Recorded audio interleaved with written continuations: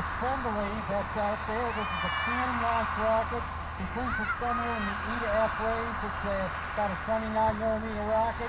I don't have continuity on anything, but I'm going to press the button and see what happens in five, four, three, two, one.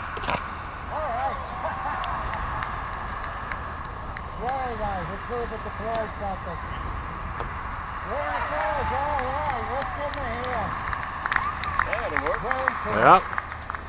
David's been working on that for about a year and a half or more, I think. All right, let's stay out at the B right